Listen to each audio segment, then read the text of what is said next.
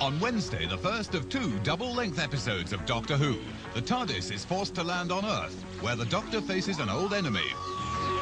I can't free the TARDIS from the time corridor! But the Daleks have suffered heavy losses. Dalek Casualties. They lost Davros.